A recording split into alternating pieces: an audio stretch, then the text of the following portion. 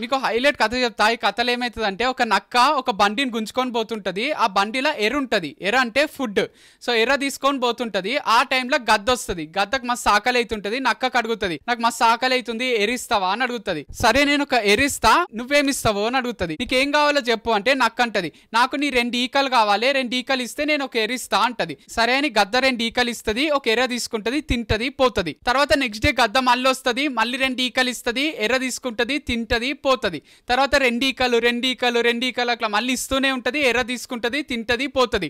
తర్వాత దానికి ఇయ్యనికి ఈకలే ఉండయి ఎర్ర తీసుకొని వచ్చేటప్పుడు నక్క అటాక్ చేసి దాన్ని చంపేసి తినేస్తుంది. అయిపోయింది కథ. ఎంత అద్భుతమైన నీతి ఉందంటే కథలా. సో ఇక్కడ ఈకలు ఉన్నాయి కదా. ఆ ఈకలు ఎట్లా అంటే దేవుడు మనకి ఇచ్చిన రిసోర్సెస్. కరెక్ట్గా చెప్పాలంటే మన దగ్గర ఉన్న టైం దేవుడు గద్దకు ఈకలు ఇచ్చిండు గాలి ఎగిరి నీ ఫుడ్ నువ్వు సంపాదించుకొని తిను. అంటే దాని దగ్గర ఉన్న ఈకలే ఇచ్చి అది ఫుడ్ సంపాదించుకోవడం స్టార్ట్ చేసింది. లాస్ట్కి ఈకలే లేకుండా అయిపోయినాయి. ఫుడ్ సంపాదించుకోనికి ఏం లేదు. నక్కకే అది ఫుడ్ అయిపోయింది. మన లైఫ్లో కూడా అంతే. మనకి ఎంతో టైం ఇచ్చిండు. మనం ఆ టైం ని వేస్ట్ చేసుకుంటున్నాము. లగ్జరీస్ అలవాటు పడిపోయి చాలా టైం ని వేస్ట్ చేసుకుంటున్నాము. పబ్జీలు ఆడుకుంటా గంటలు గంటలు చాటింగ్లు చేసుకుంటా. అవసరం ఉండి చాటింగ్ చేస్తే అవసరం ఉండి ఫోన్లో మాట్లాడితే ఓకే కానీ ఊరికే టైం పాస్ కోసము అన్ని టైం పాస్ పనులు వెతుక్కుంటున్నాం. చదువుకోవడం కొంచెం కష్టమైతుంది కానీ చదువుకునే ఏజ్లో చదువుకోవాలి కదా. అట్లా కష్టమైన పనులు చేస్తేనే కదా ఫ్యూచర్ బ్రైట్ ఉంటది. మనమే మన ఫ్యూచర్ని డిసైడ్ చేసుకుంటాం తెలుసా? ఈ రోజు మనం చేసే పని రేపటి మన ఫ్యూచర్ని డిసైడ్ చేస్తుంది. సో ఎప్పుడైనా ఈ రోజు చేసే పని పర్ఫెక్ట్ ఉండాలి ఈ రోజు చేసే పని కరెక్ట్ ఉండాలి. ఎప్పుడు కూడా డిస్ట్రాక్ట్గా రాదు ఎప్పుడు కూడా ఫోకస్ నుంచి తప్పుకోరాదు. మనం సక్సెస్ గానికి ఏం చేయాలో అవన్నీ చేస్తూ పోవాలి. మనకు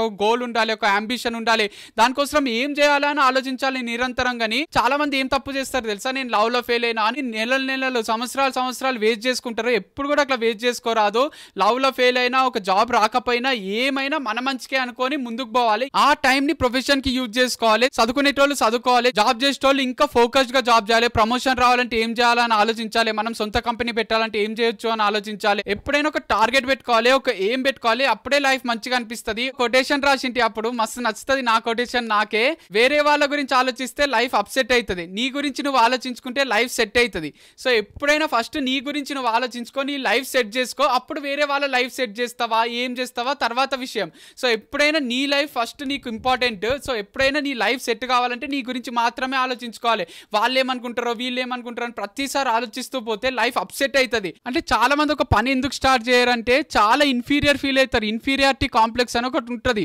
వాళ్ళు ఎంత ఇన్ఫీరియర్ ఫీల్ అవుతారు అంటే నేను అందరికన్నా తక్కువ నేను ఒక వేస్ట్ కానీ అని మస్తు బాధపడుతుంటారు. ఎప్పుడు కూడా అట్లా బాధపడరాదు.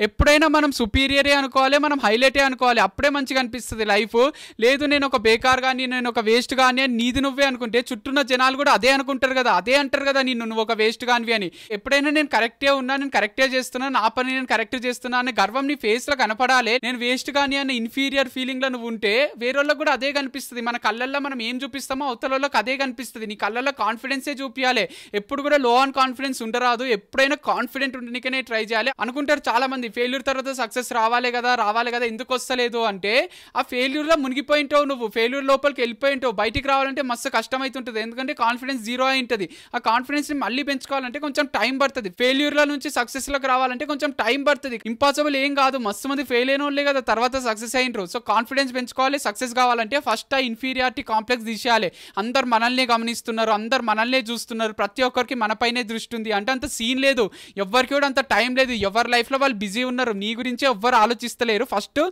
నీ గురించి నువ్వు ఆలోచించుకో. తర్వాత వేరే వాళ్ళు ఏమనుకుంటున్నారో తర్వాత ఆలోచిస్తావు. అంత టైం కూడా లేదు. మన గురించి మనకు ఆలోచించుకోనికనే ఇరవై నాలుగు గంటలు సరిపోతలేదు. ఇక పక్కన వాళ్ళ గురించి ఏం ఆలోచిస్తాం? ఫస్ట్ నీ గురించి నువ్వు ఆలోచించుకొని ఇండిపెండెంట్ అయ్యి లైఫ్లో సెట్ అయ్యి లక్షలు కోట్లు సంపాదించినాక అప్పుడు వేరే వాళ్ళకి సేవ చెయ్యు. వేరే వాళ్ళ కోసం ఖర్చు పెట్టు. నీకే అన్నం పప్పు తిననికే డబ్బులు లేనప్పుడు వేరే వాళ్ళకి బిర్యానీ ఎట్లా పెడతావు? ఫస్ట్ బిర్యానీ తినే అన్ని పైసలు నీ దగ్గర ఉన్నప్పుడే కదా వేరే వాళ్ళకి అన్నం పప్పు పెట్టగలవు. తర్వాత పైసలు ఎక్కువైనాక వాళ్ళకి కూడా బిర్యానీ పెట్టగలవు. ఎవరికి అంత టైం లేదు తెలుసా? ప్రపంచంలో నీ గురించి ఆలోచించేంత టైం ఎవరికి కూడా లేదు. నువ్వేం షర్ట్ వేసుకున్నావు నీ హెయిర్ స్టైల్ ఎట్లుంది నువ్వేం పని చేస్తున్నావు నువ్వు ఏం మాట్లాడుతున్నావు అని ఆలోచించేంత సీన్ ఎవ్వరికి లేదు. ఎప్పుడైనా వాళ్ళ లైఫ్ గురించి వాళ్ళే ఆలోచించుకుంటారు. ఊరికే పై పైకి నీ లైఫ్ గురించి ఆలోచిస్తున్నట్టు యాక్ట్ చేస్తారు కానీ వాళ్ళ లైఫే వాళ్ళకి ఇంపార్టెంట్ ఉంటుంది. కాబట్టి నీ లైఫే నీకు ఇంపార్టెంట్. ఎప్పుడైనా నీ గురించి నువ్వు ఆలోచించుకో నీ దగ్గర ఉన్న టైం కన్నా విలువైంది ఏం లేదు. బంగారం డైమండ్స్ అన్నిటికన్నా విలువైంది ఈ దగ్గర ఉన్న ఈ ఈ సెకండ్స్ ఈ మినిట్స్ ఇవన్నీ గోల్డ్ లాగా వీటిని కరెక్ట్ యూజ్ చేసుకుంటే ఎట్లయినా సక్సెస్ అవుతావు ఎవరు ఆపాలని చూసినా నీ సక్సెస్ని నువ్వు సక్సెస్ కావాల్సిందే. ఎవరు ఎవ్వరు సక్సెస్ని ఆపలేరు. పాలిటిక్స్ ఉండే ఏముండే. యూసఫ్ పఠాన్ ఇర్ఫాన్ పఠాన్ అని ఇండియా టీం కి క్రికెట్ ఆడింటారు కదా. వాళ్ళ డాడీ మసీద్లో కసూడుస్తుండేనంట. సో అంత చిన్న స్టేజ్ ఉండే వాళ్ళ డాడీ వాళ్ళు మస్తు బీదోళ్ళు ఉండ్రి అట్లాంటి వాళ్ళే ఇండియా టీం కి క్రికెట్ ఆడింటారు కదా.